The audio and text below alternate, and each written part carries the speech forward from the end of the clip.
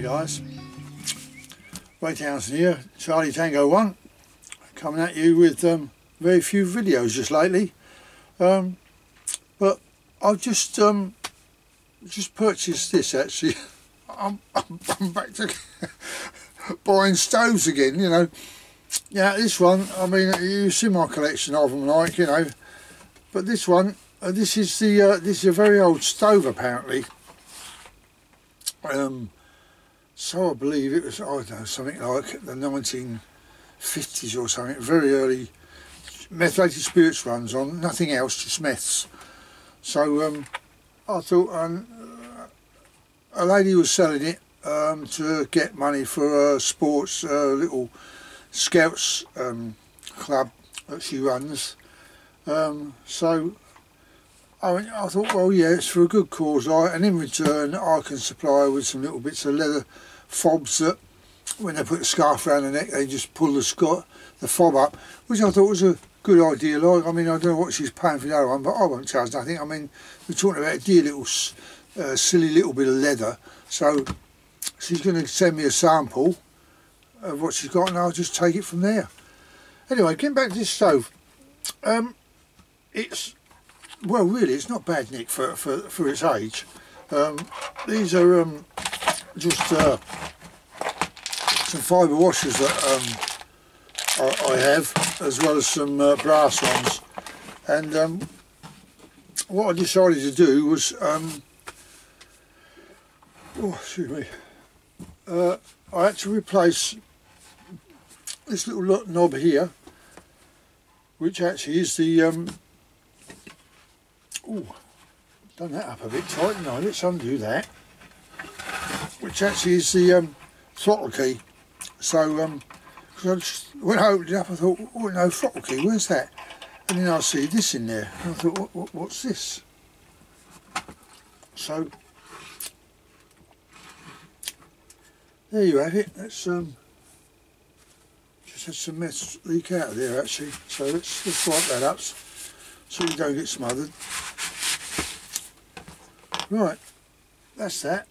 Uh, I'm going to bring this in shots that you can see.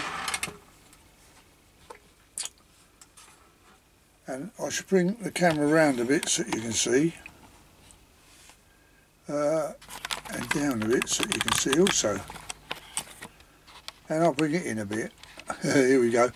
I must remember to take this back out to uh, take this back out because I always tend to forget that well there it is there there's a little tiny stand here that um, just drops down. Put that up there. The lid it just snaps shut. Um, this was uh, actually it wasn't a too bad a state to be quite honest because um, considering how old it is um, you don't get pressure in it. So it's just a, basically you could say it's like a um, a Trangia. Um, as I say, th this is the throttle, just goes in, in here like this. Same square thing, that's all. Um, and and this is the throttle. Now, um, this is the tank. Oh? This is the tank, this top bit. This isn't. Um, and this was quite messy, this in here. Uh, quite black and what have you like, you know. But anyway, I, I took it to pieces, as I do. and I was quite pleased with it. I thought, right, fair enough, let's have a go. Now, I've cleaned up these pot stands. They was, I thought they was uh, black paint, but it wasn't. It was just black crud, really, I suppose. Um, and then you got these two you pull up here as well if you want. So you've got um, you've got your pot stands, no problem at all. So, but I won't need them for this, so I'll put them down. I'll keep them ones up. Um, and when I take this out, once I've opened the throttle, once I take this out the top, open the throttle, I put it back in the top there, you know, um, to uh, seal it back down. So, and here's something else. Look at this. It's called a, a Turm Sport. That's what it's called. Ooh. And you know, there's, there's your instructions. Let me zoom this back out because we know what's going on, don't we? Right, go out. There we go. You got them?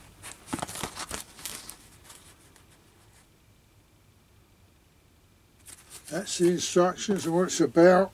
Tells you joint sizes and this and that, but I don't think you can get spares for them now. so, and it's it is in English as well as German because they, they are made in Germany these things. So Turm Sport. Right so let's let's get it fired up shall we? Let's, let's see what's going to go go on here shall we um, that's it here it doesn't roar or anything like that so don't don't expect miracles. Now what we do, what we, I think what you do is you just open the valve and it puts a little bit of um, meths in the bottom there. And I did put a little bit of meths in this top piece here. Um, actually I've got a bear with me I've got a squidgy to do here one of these uh, divots or what they call them pippets I think they call them when you can get them undone, I've never seen one undo. When you get older, oh my god, fiddly bloody things, aren't they? Come here. That's it, that's torn it. Oh, it's clear, isn't it? Right, let's do something else. I'm not going to mess about, and I'm not going to rub it on. People say, oh, get on with it. Just get some meths in here now. And what I do is I put it here. Just on this, because obviously it's got to warm up that tube, hasn't it? So let's see what happens there. Put that out of the way. Put the lid on, otherwise you knock the bottle flying. Um, then we light it up.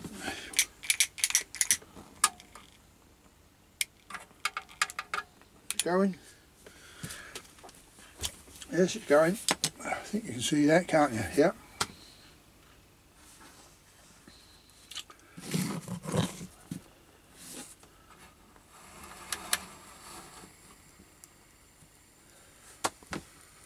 Yeah, this top piece here is the um, the tank. It only goes down to there.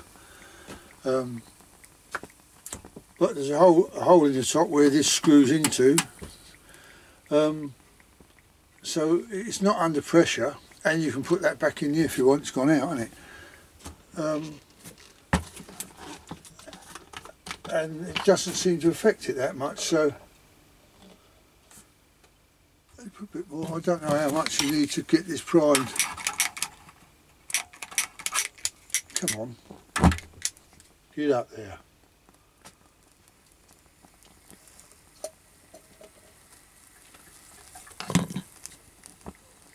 That's it, I'll just let it go for a while.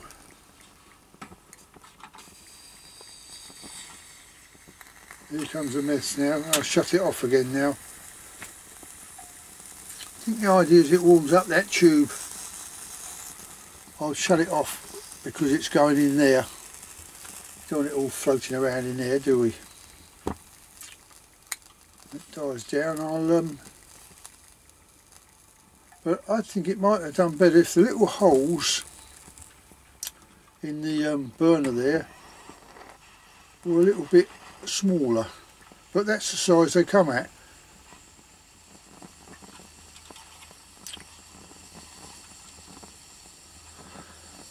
Uh, she's starting to do something now